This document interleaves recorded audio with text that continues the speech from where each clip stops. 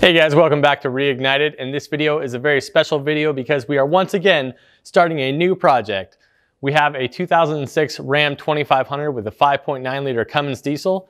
I know a lot of you guys were hoping I'd jump into another Hemi project, but that is coming down the line. In this case, I wanted to get back into the diesel world. I think this is gonna be a really fun project, and I hope you guys stay with me.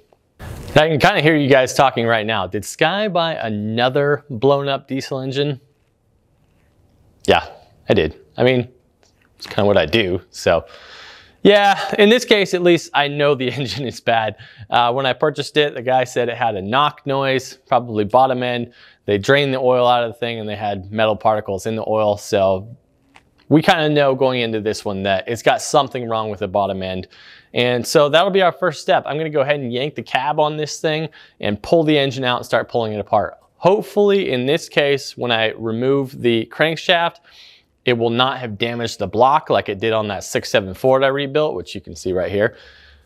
That hopefully that's the case because I really don't want to replace the entire engine on this one. I'm hoping to fix the one that's in there. It only has 165,000 miles on this one, so it'd be really nice to get that one back together again.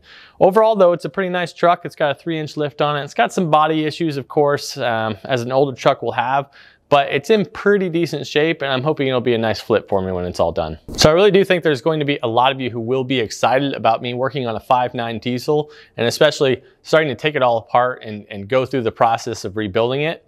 But controversial statement incoming, I have a secret for you. Come here. Closer. The 5.9 Cummins is not the greatest Cummins ever made. I know, shocking statement, and yet it is true. Man, as a technician, I get so tired of people talking about the vaunted 5.9 liter Cummins and how it's the greatest engine that Cummins has ever made. That's not true. It's just not true. Yes, I really, really like the Common Rail 5.9. I think this is a fantastic engine. I love it very much, but it is not better than a 6.7 liter Cummins. All right, bring on the hate. Bring on the hate. The 6.7 is better. It just is. The reality is, if the 5.9 was the better engine, they'd still be making it. But they're not. They're making the 6.7 because the 6.7 is better. Now, yes, the 6.7 diesel does come with all of the emissions nonsense all over it. Yes, there's more expense involved. Yes, you have the diesel exhaust fluid. Yes, you have this. Yes, you have that.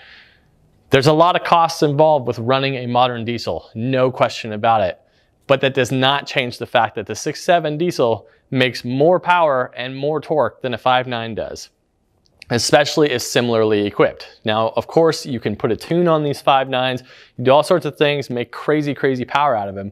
But if you do the exact same modifications to a 6.7, it's going to make more power. It just is. More displacement is always better. Anyway, just want to clear that up. Get that off my chest. That drives me crazy. People are like, the 5.9 Cummins is the greatest. No, it's not. It's not. It's a great engine. Fantastic engine, but it's not better than the 6.7. All right, and do not even get me started on the people talking about the 12 valve Cummins engine is the best engine of all time. Oh, that just, that gets me fired up. No question. That drives me crazy. okay, yes, if you want an engine that's going to go a million and a half thousand miles. You know, sure, absolutely. But as far as making power goes, no, okay? Yes, you can make crazy power out of a 12 valve if you dump a boatload of money into it. What engine doesn't make a boatload of power if you, if you dump a ton of money into it? I want you guys to think about this when it comes to the 12 valve engine. Now, that engine was extraordinarily overbuilt for the amount of power it was producing. So therefore, it can go a million and a half thousand miles without issue because it's really only performing to a small portion of its potential, correct? Now, what happens if you bring the power potential up to where it could be somewhat comparable to a modern diesel engine? Well, your reliability is going to come down. That's how it works. There's always a cost for something like that. So it just drives me nuts when people are like, the 12 valve engine. Stop it with the 12 valve engine. The 12 valve engine is one of the loudest, most annoying engines ever. Drives me nuts, honestly. I had a 1996 Ford 7.3 I thought that engine was loud. And then I bought a 96 12 valve. Good Lord, you cannot hear yourself even think. Once they came out with the common rail design, whew, best thing ever. Really quieted it down with the pilot injection on there. So much better. Again, sorry, tangent on this one. Let's get back to the truck at hand here. Again, first step, I've got to actually remove the entire cab on this thing. Now on these, uh, especially this model like an 06, you can very easily pull the front end off of these trucks and take the engine out that way rather than pulling the cab. So it's definitely not necessary to pull the cab. However, there's a lot of things that are much, much easier to get to once you pull the cab, and it's not that big of a deal to do so. So if you have a lift available to you, 100% that's the direction you wanna go. If you don't have a lift, yes, you can certainly still do this by pulling the front end assembly off and it's not that bad. Once you get into the 2010 and up Ram trucks, the front end is more of a composite design and it's very much more difficult to take the front pieces out. So it becomes about double the task to pull this stuff off the front on the 2010 and up models. But these models, they're fairly straightforward, pulling the bumper, pulling the radiator, the uh, um, intercooler and the evaporator off the front, or sorry, the condenser off the front there. Not too big of a deal. You can pull that all out and then pull the engine out through the front. But another bonus of actually pulling the cab on this thing rather than trying to do it out the front is I don't have a ton of room in front of the vehicle to operate the cherry picker to actually pull the engine straight back out of here.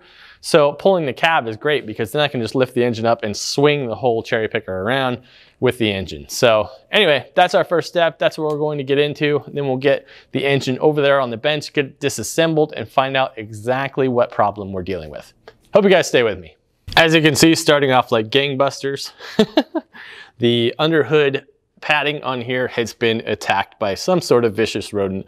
Perhaps it may have been a raccoon or a rat, doesn't matter. What matters is that while they tore up the underhood padding there, it does not appear as though they have attacked any of the engine wiring in there. Or so it seems so far. We'll find out once I get further into it. All right, you guys, so the first steps we're going to do in removing the cab here is I'm going to go ahead and recover the AC refrigerant on here, and then I'm going to remove the fan assembly on there and remove both battery boxes and then start disconnecting all the electrical components. And then I'm going to raise the vehicle up and we're going to make sure that the fluids are drained, not only for the engine oil, but also the coolant on there and disconnect the shifter cable on there, disconnect the e-brake cable, anything else, oh, the uh, steering shaft on there, we'll go ahead and disconnect that. And at that point, we should be fairly close and then I'll drop it back down, move the lift to underneath the body itself and start raising it up. And at that point, I'll be able to see if there's anything else that I missed, which there usually is. All right, I have to be honest, this is absolutely disgusting. I'm pulling off this underhood padding, check this out. Oh my God. That is nasty. I don't even want to take that out. That's just gross. I don't want to touch it. So there's been something I wanted to show you guys for a while, and this is one of my all-time favorite tools that I have. I actually bought this tool 10 years ago. This was my very first professional tool that I purchased um, to be a professional mechanic, and it's still one of my all-time favorites I use today and it's a fan clutch removal tool. If you've ever tried to remove a fan clutch from a vehicle, you know what a huge pain it is because you're supposed to hold the fan pulley with one wrench and then use another wrench to try to break it free. Certainly not an easy proposition, uh, especially on an older vehicle, a diesel. These things are on here extraordinarily tight, so there's got to be an easier way to remove them, right? Well, there absolutely is. Now, there's several different companies that manufacture this tool. I use one from a brand called Lisle, And in fact, I'll go ahead and link that down below. But again, this tool is 10 years old and I'll show you exactly how it works. So the kit comes with this variety of different wrench sizes. In this case, it's a 36 millimeter, but it comes with all different sizes so you can do fan clutches on multiple different vehicles. So that's the wrench itself, and then it comes with the actual piece here. Now the key to this is that you have to have an air hammer or air chisel, whatever people want to call it. Um, this is essential. So you have to have an air compressor and an air chisel to make this tool work. But once you have it, you will never go back, trust me. All right, so what you do is go ahead and slip the wrench over the fan clutch nut, slide that in place. Now, feed that guy in there. And then you just stick the air chisel on it and fire away. And just like that, fan clutch is loose and you can spin it off of there. Now this trick only works if you leave the serpentine belt on because if you take it off, the, the pulley is just going to spin freely. But man, you would not believe how much aggravation that saves. Look at that. That was a three second process to get that thing removed. And now I could just spin it right off. If I was trying to do that by hand, I guarantee you I'd be fighting with that for 20 minutes, trying to hold one wrench, hit the other wrench with a hammer. Total waste of time. This tool, the best.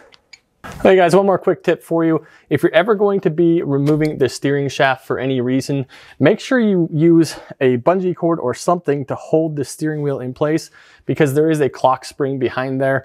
And if it unwinds or gets out of turns, which means if you spin the steering wheel without the steering shaft connected and then reconnect the steering shaft, you're going to break that clock spring in there. When you actually turn the wheel full lock, it's going to snap and that's going to set you an airbag light. So if you ever, for any reason, are disconnecting the steering shaft, make sure you hold the steering wheel in place so it cannot spin.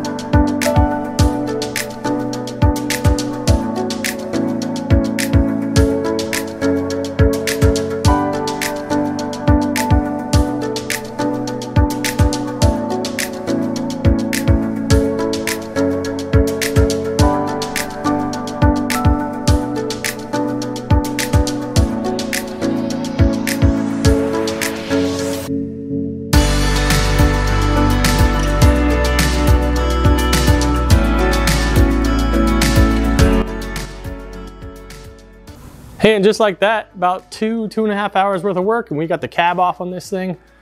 Now, I know a lot of Chrysler technicians who could do the same job in about 45 minutes. They really have the process down pat and it's not a big deal for them to just zip right through it and get that cab off. Um, I don't do it quite as often, so it takes me a little bit longer. Like you saw, I kind of really want to make sure that everything is loose. You don't want to go, you know, raising it up and then snapping something when you don't have to. So just going slow, still not a big deal, two and a half hours, it's up. So now we're on to the next step. Now I've got to actually remove the front bumper. I've got to start disassembling the engine itself. I wanna get the engine pretty much down to the bare block because that's when it's going to be light and easy enough to move. So that's our next step.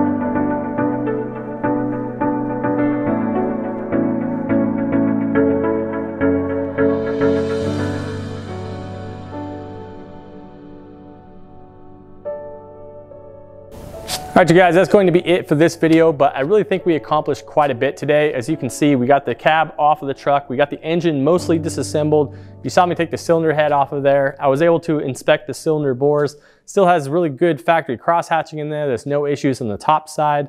I did drain what was left of the oil in there and it definitely has a silvery tinge to it. So yeah, we do have a bearing issue. But the question is, did it damage the block like it did on my 6.7? I'm really hoping not. I'm hoping this could be a simple swap, put a new crank in there, some new bearings, ship this thing. Really, really hoping. But I hope you guys like what you've seen so far. If you have, go ahead and hit that thumbs up button, or if you feel like it, subscribe to the channel. If this isn't your thing, I have a lot of other automotive content on there that might be your thing, mainly uh, Dodge, Chrysler related with Hemis and stuff, but also my 6.4 Hemi Swap C10, it's a great project to check out if you haven't seen that before.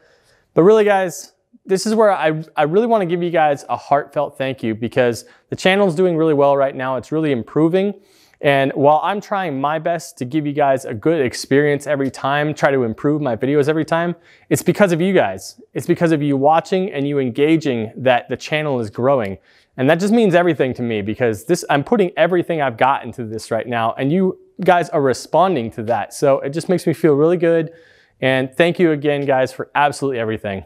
We'll see you next time on Reignited.